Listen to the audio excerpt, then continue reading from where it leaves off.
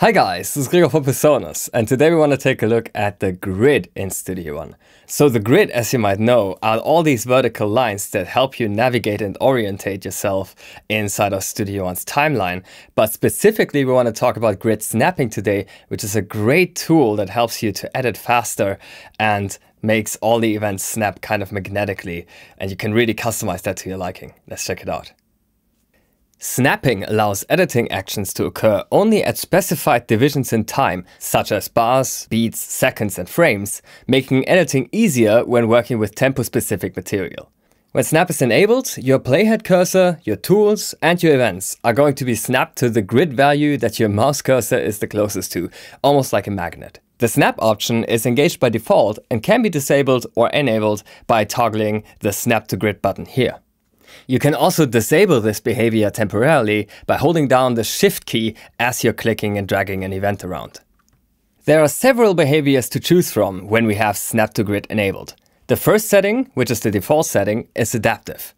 When this is engaged, then the snapping always occurs at the nearest division of your currently set time base. The time base can be selected directly on the left of the snap menu. For the time base, you can choose between seconds, samples, bars, and beats, or frames if you're working with video.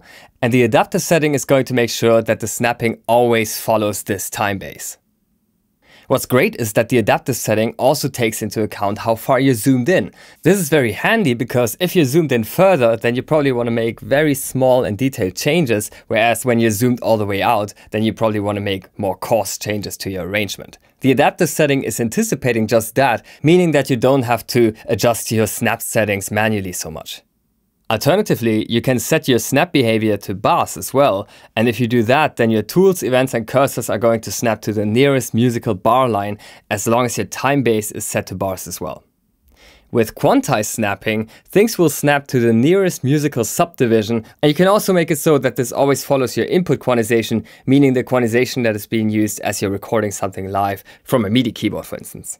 There's also the option here for frame snapping. When this is set, then your events, your playhead cursor, and your editing tools will always snap to the nearest frame based on the frame rate that you can set in the song settings. And finally, there's some very handy additional grid options that we can enable for any of the settings that we just discussed. Snap to cursor in loop activates additional snapping to the playback cursor and the loop start and end points. Snap to events enables snapping relative to events in the arrangement. Note that this can be toggled in addition to snap to cursor and loop, and that is also true for any of the other behaviors. Snap to zero crossings. This option ensures that the audio data in an event will snap to a zero crossing point.